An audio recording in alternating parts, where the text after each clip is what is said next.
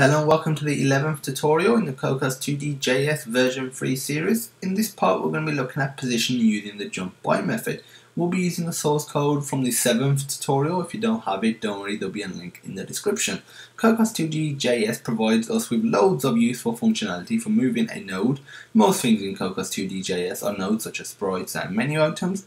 We will look at positioning using the jump by method, which jumps to a set point over a set number of jumps relative to its current position, or you can think of it as offsetting the node's position by jumping.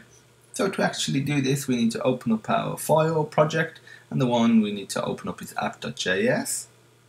First of all, we need to create a sprite action, which will be of jump by. the var sprite underscore action, again, you can call this whatever you want. cc dot jump by missing dot create.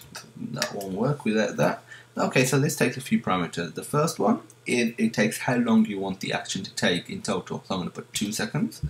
And then the next one is, is how much you want it to move by relative to its original position.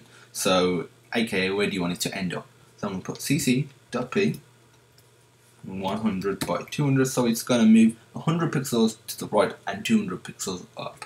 But it'll be jumping while it does this. The next parameter is how high you want each jump to be. So I'm going to put 50 pixels and then next I'm going to put how many jumps and I'm going to put 4 jumps. Okay now the only thing that's left is to run this action on our sprite. So sprite dot run action and in here we specify the sprite action, save it, and now we're ready to run. So open up terminal,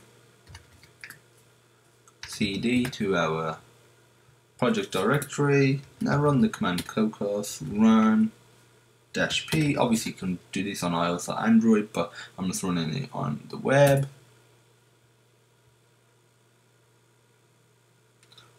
As you can see, it. Let's just refresh that for a moment. So one, two, three, four. So it moved 100 pixels to the right and 200 pixels up from the original position, which was the center of the screen. So that is it for the jump by action. Little thing to note, you can't reuse actions for different nodes. You either need to create a new one or release the old one and construct it again. Recommended you just create a new action for the different nodes you have. No task for you to do using a screen size variable, aka this, which has been used to position the sprite so it's always in the center of the screen, use it so instead of using magic numbers, aka here, factor in the screen size so you, you always end up in the same position on the different screen sizes and the jump is always the same height on the different screen sizes visually that is. And that is it. The next tutorial will cover positioning using the the uh, Bezier To method, which allows you to curve uh, your node. If you have any questions, feel free to message us at support at sonarsystems.co.uk. The email will be in the description. You can comment on this video or just directly message us via YouTube. All the required links for source code will also be in the description. And as usual, thank you for watching and I hope you have a great day.